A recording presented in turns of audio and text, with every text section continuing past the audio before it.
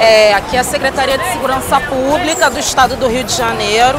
Eu trabalho especificamente, meu setor né, é a Subsecretaria de Ensino e Programas de Prevenção.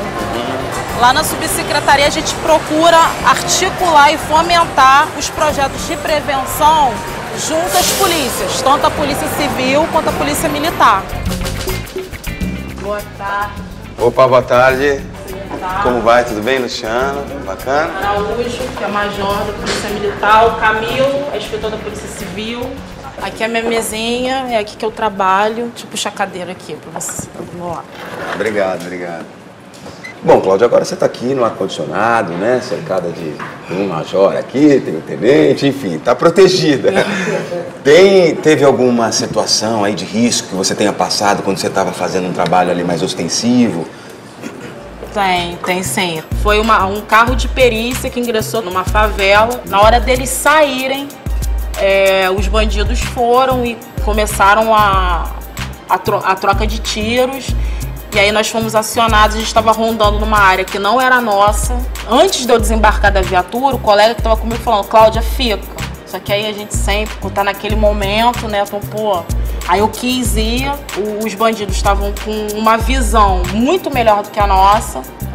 Os carregadores da gente já estavam acabando e eles perceberam que tinha uma mulher no grupo, então a todo momento eles falavam coisas que envolviam a mim, falando que iam me carregar para dentro da favela, fazer isso, fazer aquilo. Então, também o psicológico, dois policiais que estavam comigo ficaram abalados até que chegou o ponto de um deitar em cima de mim. Aí nesse dia eu te falo sinceramente que eu chamei minha mãe várias vezes, vários traçantes. Foi a primeira vez, a primeira vez que eu estava vendo traçante na minha vida e tal.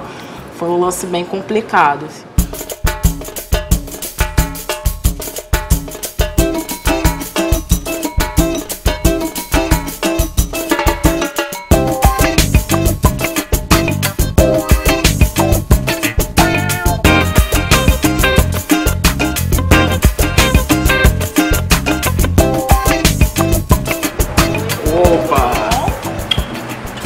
Cláudia. Esse é o, é o Cabo Nides Durães. Prazer, prazer, tudo bom? Igualmente. Trouxemos ele de Belo Horizonte. Nossa, foi importado esse. Já que a gente está falando do policial brasileiro, né? Temos aqui um representante de Minas Gerais e uma carioca aqui. Me Isso é diga uma bom. coisa, a família de vocês, né? Eu quero saber da sua e da- depois da sua. Como é que eles lidam com essa, com essa coisa de vocês serem policiais? Ah, sempre tem uma preocupação, né? Até porque, não sei em relação a ele, mas eu, por exemplo, eu procuro não comentar do meu trabalho em casa. Né? Justamente para as pessoas não, não se verem tão envolvidas para resguardá-los de algumas coisas. Quanto a mim, foi bem mais fácil, porque eu, a minha esposa é filha de militar. E para mim se tornou muito mais fácil a compreensão, o meu trabalho. Ah, eu nunca tive preocupação. né? Eu sei que ele trabalha bem, então não precisa ter preocupação. Sofre muito. É, né? Sofre, fica chocado, fica preocupado, né? Mas, como ela diz, aconteceu na vida dela, Se fosse um filho homem, seria. acho que seria a mesma A coisa. mesma coisa. Ô Cláudia, e esse, essa coisa de- desse turno que tem de 24 por 72, né? O sujeito trabalha 24 horas e folga 3 dias. Como é que é isso? Não é meio absurdo? Sei lá, uma pergunta. Não, e às vezes as pessoas acham assim, a princípio é uma moleza, né? Trabalha um dia, fica três em casa. Só que na verdade você ficar 24 horas. O trabalho de polícia já é um trabalho que é extremamente estressante, é cansativo, né? Enfim. É, então, o que acontece? A pessoa acaba realmente sobrecarregada no plantão, entendeu? É bem complicado. E você acha que é por isso que é, os policiais acabam indo fazer um bico, enfim, abrindo um outro mercado de trabalho aí? É, eu acho que é tudo uma conjuntura, né? Eu acho que quando você não, não recebe um salário que, que seja condizente com, a- com as funções que você exerce. E você tem, na verdade, né, esses três dias aí, esse ato que tem de um plantão ao outro, acho que isso favorece sim as pessoas a procurarem outras formas de renda, porque ela fica desestimulada a trabalhar, entendeu? E aí ela se dá muito mais pro, pro bico, pro dito bico, do que propriamente para a função em que ela recebe um salário certo do Estado todo mês. No Brasil, é, em todos os estados, o bico é ilegal, porém é tolerado, porque com os baixos salários, ou seja, como que os estados têm é, limites para pagar melhores salários, é, uma forma de você complementar a renda dos policiais é quase que fazendo um pouco de vistas grossas para o bico. Só que isso é um efeito extremamente perverso, que acaba implicando inclusive no gerenciamento da segurança pública, na gestão da segurança pública. Bom, a gente sabe que tem corrupção né, na, na polícia, ao que que você atribui? Eu acho que a nossa sociedade é que tem essa mania de querer dar jeitinho em tudo, em querer se livrar de algumas situações que não são muito confortáveis, enfim. A guarda me parou numa blitz, aí eu abri o jogo. Uhum. Falei assim, realmente antes dele de, de me pressionar, eu falei, ó, estou irregular, eu sei que estou com o documento errado, não estou em dia, mas estou tentando acertar, a situação tá difícil, tudo. Aí hora daqui, hora dali, eles que chamaram. Ah, vê o que o senhor pode fazer aí no canto e tudo, eu já conheço, né? Aí eu falei, vê o que vocês podem fazer aí por mim tudo. Aí foi lá no colega, conversou e tudo. Aí entrou aquele jeitinho, né, cara? Pode ajudar aí, deixar uma cervejinha e tudo.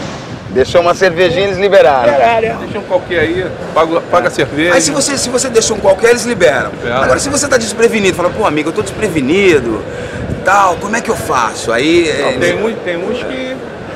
Que até deixa. Que libera, até deixam. É. Ah, deixa pra outra vez então, mas tem uns que às vezes faz até marra, né?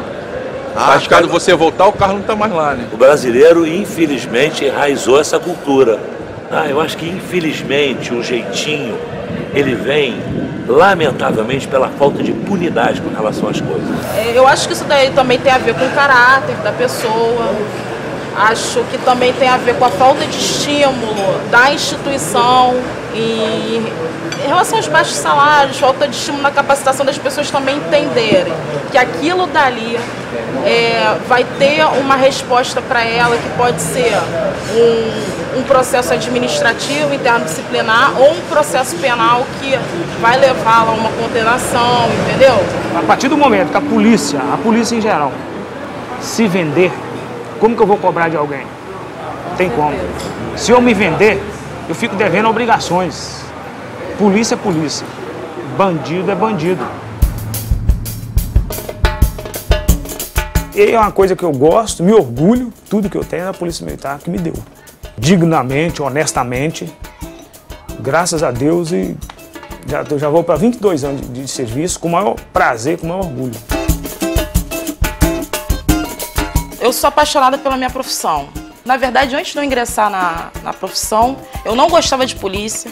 A minha primeira lotação foi numa delegacia próxima à minha casa. Eu, não, eu sequer sabia que aquela delegacia existia. O meu dia a dia sempre é de muita felicidade porque eu me realizo diariamente como profissional. Se ainda não existe uma nova polícia, pelo menos existe um pensamento novo sobre segurança pública, que se revela no trabalho de policiais como o Nides e a Cláudia.